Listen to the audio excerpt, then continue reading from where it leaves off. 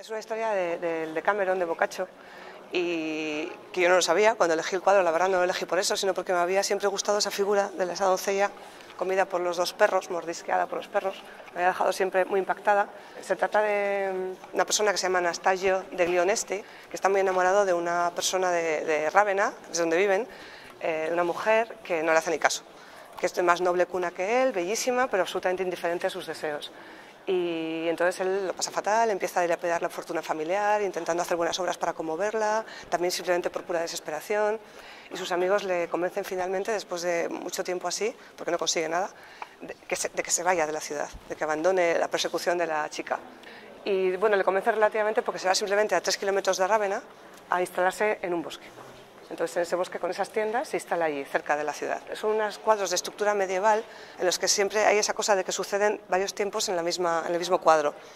En el fondo, en el fondo ya los tres hacen como una, lo que ahora entenderíamos casi como una especie de viñetas de cómic, ¿no? O como episodios o como fotogramas de una película de cine. Pero dentro de cada uno de los cuadros también hay diferentes momentos. Que eso ya en el Renacimiento empieza a dejarse de hacer, pero en, en el pre-Renacimiento, en el gótico, se hace mucho. Entonces, en ese primer momento, ahí en, a la izquierda, tenemos a Anastasio con sus amigos, pues probablemente les estén aconsejando, eh, haciendo algún tipo de diciéndole, pues no te estás pasando, estás haciendo todo fatal y tal. Entonces él, en un momento dado, se va a pasear por el bosque pensando en su amada y entonces de repente aparece delante de él una escena fantasmagórica de un caballero airado que persigue a una doncella, él y sus perros. La persigue a muerte, la está cazando. Y se queda absolutamente anonadado y en un primer momento no lo concibe e intenta defender a la doncella. Entonces le dice al caballero que no lo puede consentir, al caballero del caballo, al airado, al que le va persiguiendo a la chica, le dice que no lo puede consentir. Pero él le dice, escúchame, no tienes ni idea de lo que estás hablando. Lo que a mí me sucedió fue lo mismo que te está sucediendo a ti. Una mujer bellísima y también absolutamente cruel y altiva como la tuya, indiferente por completo a mis deseos, eh, medio de lado, no me hizo caso y provocó con ello mi suicidio. Debo decir también que Anastasio también estaba pensando en suicidarse.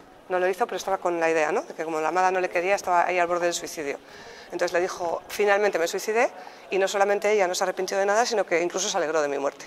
Y entonces ella murió poco después y los dos fuimos condenados a las penas del infierno, que consisten en que sistemáticamente cada viernes en este bosque yo la persigo, le doy caza, la mato y le saco el corazón del cuerpo y se lo doy de comer a los perros como en los mitos griegos de una y otra vez la eterna tortura. Entonces Anastasio deja de defender a la chica y dice, ah, claro, como lo mío. dice, uy, pues no está tan mal la cosa. Y entonces en la tercera escena, Anastasio lo que decide es aprovechar la coyuntura, puesto que ya le va pareciendo mejor lo del caballero que persigue a la chica y la mata, puesto que es su propia historia la que está viendo, ¿no? Entonces decide aprovechar la coyuntura y montar un espectáculo, que ya sería como la fantasmagoría para el público. Entonces les dice a sus amigos que, que, dejará de darles la paliza con la chica amada siempre que consigan traer a la chica y a sus damas y amigas y a sus padres y a toda la familia y amigos y tal a un banquete que va a organizar en ese bosque. Y entonces organiza el espectáculo, lo dirige, sabiendo perfectamente que el viernes va a aparecer la imagen, la escena del caballero cruel, ¿no? Y bueno, y entonces Nastasio de esta manera instrumental consigue lo que quería, porque dice Boccaccio en el de Cameron que la chica dice, ah, pues ante esto me caso. Bueno, ni siquiera dice me caso, dice me entrego. Y entonces el que es muy buena persona dice, bueno, no, nos casamos, voy a salvar tu honor, no hace falta que te entregues, nos casamos. Y no solamente eso, sino que acaba diciendo que las demás damas de Rávena, pues ante esto también decidieron a partir de entonces ser dóciles a, sus, a las demandas de los hombres. No todas las figuras son, están pintadas por Botticelli en absoluto. Lo que sí que es de él en esos tres cuadros es el diseño compositivo, por lo que dicen los expertos historiadores. Y, por ejemplo, yo que sé, la primera figura de él pensativo, cabizbajo en el bosque, la figura de este Nastasio es de Botticelli, dicen. También lo es este caballo, por ejemplo. Y también lo es, sin duda, la doncella mordida por los perros, que es la figura que por la que he escogido esta serie de cuadros. Para mí, esta es una imagen absolutamente pregnante. Una imagen es pregnante cuando nos interpela de una manera muy fuerte emocionalmente y por eso se graba en nuestra memoria. En todos estos cuadros hay una cuestión relativa al orden, que atañe a ambos a la chica, que por cierto las chicas, ninguna de las dos, ni la perseguida por el fantasma, ni la, eh, ni la amada por Nastasio, ninguna de las dos tiene nombre. Al final todo esto es una especie de defensa del matrimonio. Eso estructuraba el orden social. Entonces el matrimonio significa aquí la civilización, representa la civilización. Y los dos debían acatar este final ordenado y sistemático. Claro, precisamente porque se trata de eso, porque se trata de un orden social general, es por lo que la última escena no se la dedica solamente a su amada, sino a toda la corte quiere que todo el mundo lo vea, porque es una cuestión social, no solamente de ellos dos. También hay una cuestión sin duda en el cuadro que es la relativa a la violencia, ¿no? relacionada con la sexualidad femenina. Hay una simbología muy clara de que el chico no consigue a, la amada y en la figura de ese doble suyo culmina sus deseos finalmente, porque el caballero eh, la penetra de alguna manera. Vale, con la espada, pero la penetra. Le saca el corazón y se lo da de comer a los perros. Pero finalmente son escenas de enorme, enorme carga erótica en la que el placer es un placer sádico.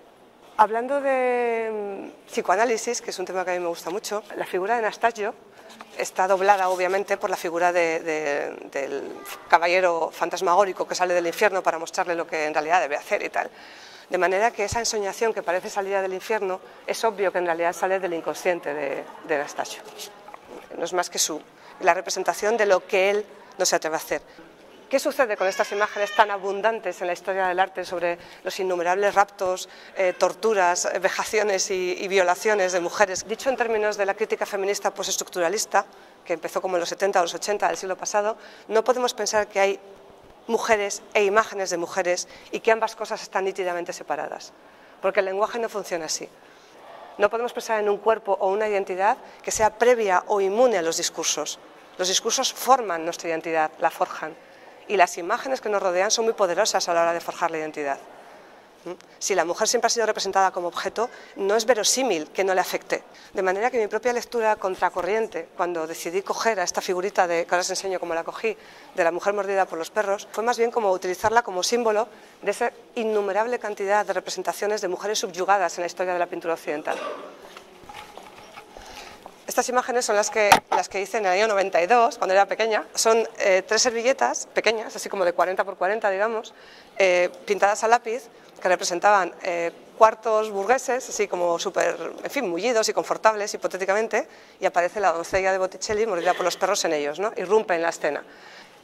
¿De qué iba para mí esto? Bueno, por un lado, tiene mucho que ver con lo siniestro en un sentido freudiano, ¿no? de nuevo voy al psicoanálisis. Lo siniestro para Freud es eh, ese momento en el que algo que aparentemente es eh, familiar, confortable, agradable, mm, de apariencias tranquilas, está al borde de ser el horror y lo fantasmagórico. Pero bueno, de eso van los cuadros, de poner de manifiesto que este reino burgués, aparentemente confortable, no es sino una especie de horrorosa cárcel, violenta también.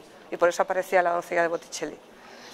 Y muchísimos años después hice un vídeo que mm, no me di cuenta de hasta qué punto estaba tomando como referencia el, cuadro de Botticelli, en absoluto, hasta el día de la inauguración, en la que no me acuerdo quién me lo dijo, luego me lo dijo más gente, dice, hombre, como la doncella de Botticelli, una chica perseguida por el bosque. Y yo, que había utilizado el cuadro de Botticelli y que me encanta, dije, uy, entonces es una doncella que corre por el bosque, también desnuda, huyendo también de un peligro. Eh, solo que en este caso el peligro no sale, es un peligro imaginario. La idea del vídeo era muy sencilla, eran dos pantallas, pero yo les he resumido en una, una pantalla con una cámara fija que la sigue así como en un plano objetivo y luego otra cámara seguía a la chica de cerca filmando sus ojos, en el mismo rodaje, ¿no? Y entonces la chica huye, mira a los lados, está desesperadamente asustada, huye de algo y cuando convulsiona, con una pose que recuerda a las, convulsiones histéricas, los ojos le arden desde dentro, pero desde dentro. Y entonces entiendes que de lo que está huyendo es algo que tiene dentro, que no está entendiendo de lo que huye, que no hay ningún perseguidor más que su propio interior, su propia psique. Mm, y luego además en el bosque, que es un bosque más contemporáneo, es un bosque hecho en 3D, es un bosque hecho con tecnología digital, digamos, no son árboles de verdad. La chica sí, la chica es real, una actriz real. Y en esos árboles eh, están agujereados, como son 3D, yo puedo hacer lo que quiera, animación, están agujereados y sale luz de dentro, una luz que la persigue también, que rememora las escenas cine tan típicas de una persecución con linternas por el bosque, que son un clásico, ¿no? De los thrillers. Ella no sabe lo que le pasa. Al contrario que Nastasio, que es un listillo, ella no sabe lo que le sucede. Ella es ese yo desgarrado entre sus instintos y las demandas que se establecen sobre ella con las que obviamente no está confortable ni, a gusto. Ella está en un momento muy previo, en el que se cree que algo le persigue, hay una tensión y una violencia también en la escena, pero no sabe qué es lo que le está sucediendo. Pero sí tiene que ver con la doncella desnuda, no solamente formalmente, que sin duda, ¿no? que yo no me di cuenta, tiene que ver obviamente, sino que tiene que ver en un sentido narrativo también, porque son ese tipo de demandas sobre ella las que, con las que no puede lidiar algo que está fallando en su inserción en el sistema. Gracias. Muchas gracias.